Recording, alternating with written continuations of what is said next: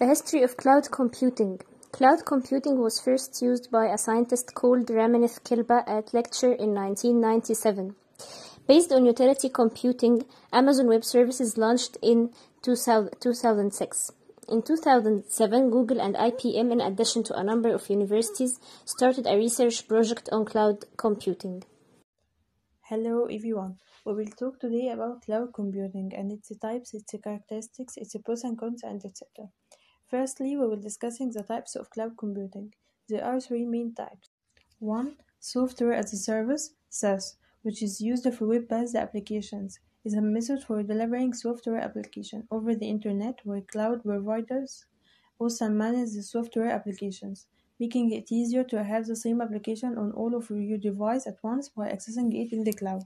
2. Infrastructure as a service, IaaS, which is used for internet-based access to storage and computing power. Is the most basic category of cloud computing types. IaaS lets you infrastructure service and in virtual machines, storage, network, and operating system from a cloud provider on pay-as-you-go basic. 3. Platform as a service, PaaS, that gives developers the tools to build and host web applications. PaaS is designed to give users access to components they require to quickly develop and operate web or mobile applications over the internet without worrying about setting up or managing the underlying infrastructure of services, storage, network, and databases. Secondly, we'll be discussing the characteristics of cloud computing according to the National Institute of Standards or Technology. All true cloud environments have five keys of characteristics. On-demand self-service cloud customers can quickly sign up and pay for start using cloud resource on their own without help from sales agents. Cloud network access. Customers can access cloud service via internet. Now we will discussing the advantage of cloud computing. 1. Easy implementation. Cloud computing allows business to retain the same applications and business process without having to deal with the big technologies. 2. Accessibility. Access your data anywhere and anytime. An internet cloud infrastructure maximizes enterprise productivity and efficiency by answering your application is always accessible, which allows for easy collaboration and sharing among users in multiple locations. 4. Cost per head. Overhead technology costs are kept at minimum with cloud hosting services, enabling business to use extra time and resources for improving the company infrastructure.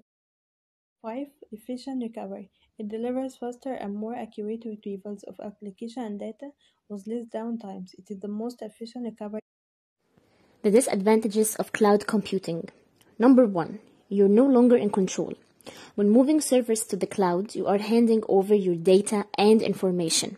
Number two, it may not get all the features. Not all cloud servers are the same. Some cloud providers tend to offer limited versions and enable the most popular features only, so you may not receive every feature you want.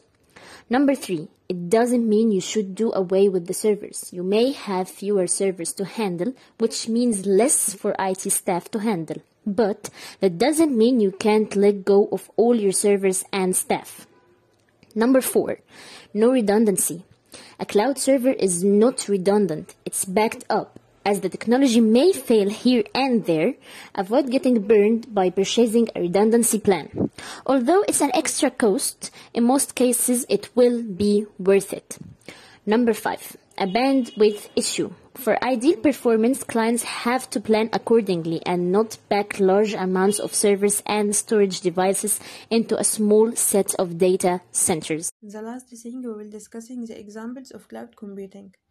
Amazon EC2 like Virtual IT, Google Apps and Microsoft Office Online like SaaS, Apple iCloud like network storage, DigitalOcean servers like PaaS. Some providers offer cloud computing services for free while others require a paid subscription.